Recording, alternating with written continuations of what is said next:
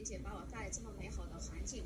那我传统的行业呢是做电脑工程师的经理，嗯，我商品呢，我觉得最重要的是珍惜感恩，还有就是单纯相信、听话、照着做。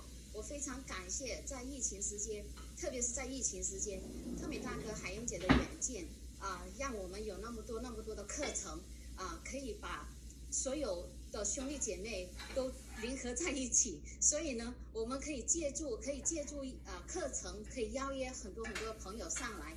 那就是汤米大哥每次提醒的，目标放中间，杂事放两边，然后呢要注重做架构。